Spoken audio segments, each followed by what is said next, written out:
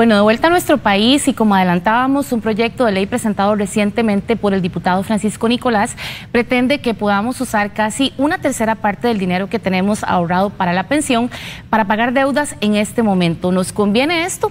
Para analizar el tema está con nosotros Edgar Robles Cordero, quien es economista, ex superintendente de pensiones y consultor internacional. Buenas noches, don Edgar. Bienvenido. Buenas noches, Yesenia. Un gusto poder estar con usted y sus eh, amables televidentes. Para entrar en materia, don Edgar, lo primero que quería eh, puntualizar a los televidentes es que es el ROP o el régimen obligatorio de pensiones. Vamos a pedirle ayuda a nuestro compañero Jason en realización para que podamos eh, mostrarles a ustedes una pantalla que hemos preparado que nos ayuda a entender brevemente qué es el ROP, como podemos ver, es el régimen obligatorio de pensiones, es un ahorro que se conforma con un 1% que aporta el trabajador mensualmente, se rebaja el salario y también un 3,25% que lo aporta el patrono. ¿Se sabe en promedio, don Edgar, cuánto dinero puede tener más o menos cada trabajador en, en el ROP? Sí, en promedio el trabajador mantiene en estos momentos 3.7 millones de colones. 3.7 millones. 3.7. Eso quiere decir que un 30% de eso va a ser un poquito más de 1.2 millones. Eh, recordemos que esto es un dinero que está en una cuenta individual a nombre del trabajador. La intención es que ese dinero sirva para pagar una pensión complementaria. Y lo que dio nacimiento a este fondo, eh, con la ley de protección al trabajador, era la necesidad de reponer la pérdida que iba a tener la pensión de la caja en el tiempo. De hecho, recientemente la caja nos anunció que ya la pensión no va a ser cercana al 60, sino que va a ser cercana al 50% del, del, salario. Aún así, el sistema de la caja no es sostenible, va a seguir disminuyendo a lo largo del tiempo y la idea es que el ROP vaya, digamos, supliendo esa, esa caída. Entonces, eh, el efecto más inmediato, si usted tiene un retiro del ROP, es que su pensión futura va a ser más pequeña. Em, eso puede ocasionar problemas, especialmente las personas que están en la parte más baja de la distribución de la renta, o sea, las personas más pobres que necesitan de ese dinero para, para subsistir. Y el otro tema es si esto realmente soluciona el problema de endeudamiento que tienen las personas.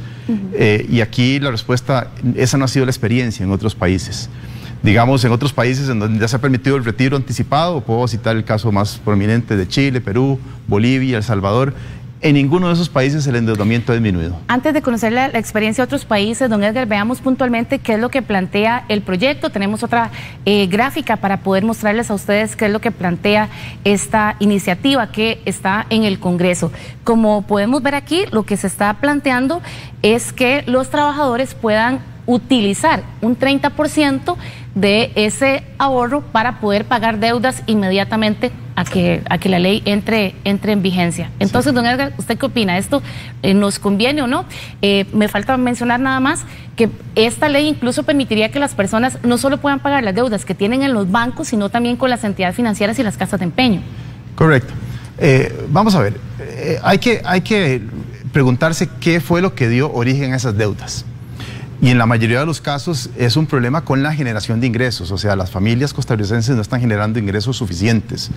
Eh, eso quiere decir que aún pagando esas deudas vamos a tener todavía el problema de origen y eso lo que ocasiona es que poco tiempo después vuelvan a estar igualmente endeudados, pero sí el fondo de pensiones. Eso desde el punto de vista personal. Entonces realmente no es una situación que le va a solucionar el problema a la familia. Hablemos que en promedio lo que va a poder pagar es 1.3 millones de colones. Tampoco es un monto exagerado de deuda lo que va a poder pagar.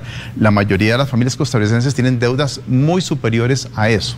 Ese dato, don Edgar, tal vez puntualicémoslo. Usted decía al principio que tenemos más o menos 3 millones 700. Entonces ese 30% le daría a las personas como un millón 300 más o menos. Un millón 200. Un millón 200. En el mejor de los casos, sí. Em, bien, entonces el endeudamiento no para, pero recordemos para qué se va a usar este dinero y este dinero va enfocado a que las instituciones financieras puedan disminuir esos indicadores de morosidad que existen. Entonces realmente es un problema que se le estaría solucionando a estas entidades financieras, pero no a la persona. Entonces, quien se beneficia más de este proyecto de ley son esas entidades financieras que hoy están morosas. Aparte de eso, hay mayor preocupación sobre el impacto macroeconómico que esto va a tener. Pero sí, bueno, dice usted que se beneficia sobre todo las entidades financieras, pero bueno, este, los datos que tengo recientemente de la Oficina del Consumidor Financiero indican que el 74% de los ciudadanos tienen al menos dos o, dos o tres deudas. ¿Y por, ¿Y por, qué monto? El tema es que el monto posiblemente va a superar ese, esa cantidad de dinero.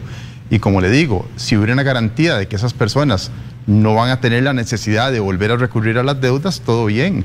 Pero la realidad es que la situación salarial del país sigue complicada, el mercado laboral sigue fraccionado, muy poco empleo formal y en fin, tenemos un problema de que ese dinero no se va a reponer a la cuenta de pensiones. Entonces, si uno dice, voy a vestir un santo para vestir el otro, tal vez, pero lo que ha sucedido en otros países, la evidencia lo que nos muestra es que el dinero se retira, se pagan deudas o se gasta o lo que sea y eh, no se soluciona el problema de endeudamiento de las personas. Y temporalmente se queda sí. para el futuro. Claro, temporalmente sí, pero muy rápidamente vuelven a volver a estar endeudadas porque tengo los mismos problemas que dieron origen a esas deudas, que es la falta de ingresos para financiar mis gastos. Y entonces quedamos con las mismas deudas, con las cuentas saneadas en los bancos, porque al final es un proyecto que va dirigido a beneficiar a bancos y financieras y con una pensión disminuida. ¿Cuánto cae la pensión? Depende de la edad del trabajador. Entre más joven, pues menos será el impacto. Entre más cerca esté de pensionarse, una persona que esté de día de pensionarse, su pensión va a caer en 30%. Eso se le debe sumar a lo que la caja ya anunció que va a, disminuir las pensiones a partir del año 2024, que en promedio es como un 13%. Entonces, solamente por esas dos vías, para algunas personas la pensión se vería, reducir, se vería reducida en más de un 40%. Vamos a ver otra de las gráficas que hemos eh, preparado, eh, don Edgar, para explicarle a las personas que de aprobarse esta ley en el Congreso, las eh, operadoras de pensiones tendrían durante un plazo de 12 meses, los trabajadores podrían ir y solicitar esto y las operadoras tendrían 30 días para depositar el dinero. Quiero aprovechar esta gráfica para preguntarle, don Edgar, algo que usted mencionaba al inicio, que es el tema de la, de la morosidad. Sí. Eh, estuve revisando los datos del Banco Central, que en este momento la morosidad en colones está en el 2.3% y en el caso de las deudas en dólares está en el 3.4%. ¿Ese nivel de morosidad hace que sea necesario que echemos mano de los ahorros para el futuro? No, está dentro de los rangos que se consideran prudentes de acuerdo a, las, métricas bancarias, de acuerdo a la regulación bancaria. Eh, no hay una situación de extrema emergencia, no hay duda que hay personas que tienen problemas de endeudamiento y que se sienten agobiados, pero las cifras eh, globales no muestran, digamos, problemas de morosidad urgentes. Eh, nuevamente, más que ese problema de carácter personal, hay otros problemas que trascienden, digamos, el retiro. Y es cómo van a ser las operadoras para el lapso de 30 días poder liquidar los títulos para pagar ese 30% de los retiros. Ese dinero principalmente está invertido en títulos de gobierno. Es más, las operadoras de pensiones hoy poseen en sus fondos de pensiones administrados cerca de una tercera parte de todos los títulos de deuda interna emitidos por el gobierno. Van a tener que vender el 30% de esos, de esos títulos en menos, en menos de 30 días. Y eso es equivalente a lo que el Ministerio de Hacienda tarda en colocar títulos en el segundo semestre de este año. O sea, en 30 días vamos a tener a las operadoras de pensiones luchando contra el Ministerio de Hacienda para colocar títulos uno y vender títulos el otro. Eso va a ocasionar que los intereses suban y que la deuda que no se pudo pagar también suba. Entonces hay un efecto contraproducente que la misma ley crea. Eh, es un problema en donde la deuda que no se ha pagado va a aumentar de costo y termina afectando al propio trabajador. Don Edgar, eh, ya casi para ir cerrando vamos a ver otra gráfica que preparamos para mostrarle eh, a los televidentes que, por ejemplo, si una persona eh, tuviera un monto mucho mayor, digamos, al que usted mencionaba al promedio al inicio, digamos, una persona que tuviera 7 millones en este momento, ¿verdad? Este, si retirar ese 30% serían 3 millones de colones, ¿verdad? Bueno, ya sé que no le ve bondades al proyecto, don Edgar, pero en relación también con el tema de lo que es la sostenibilidad del IBM. Sí, bueno, eso es un tema aparte. Está vinculado con el tema de forma indirecta porque las cifras lo que muestran es que el, IBM no va a poder seguir pagando pensiones del monto que paga hoy día. Va a tener que ir reduciéndose en el futuro. De hecho, recientemente el jerarca de la caja dijo que ya hace falta un nuevo ajuste para bajar las pensiones, aumentar las cuotas y aumentar la de pensión. Entonces, lo que nos está anunciando es que este régimen sigue en problemas serios, de que muy probablemente en la presente década, según estimaciones de profesores de la, de la Escuela de Matemática de la Universidad de Costa Rica, en esta misma década se va a agotar el fondo y que por lo tanto rápidamente vamos a ir perdiendo el poder adquisitivo de esa pensión de la caja y por lo tanto necesitamos pensar en fortalecer otros esquemas de pensiones para que la gente tenga un ingreso que por lo menos llegue a la mitad de su salario cuando se retire. Entiendo sus palabras, don Edgar, que le ve más preocupaciones a, este proyecto que, alguna eh, bondad.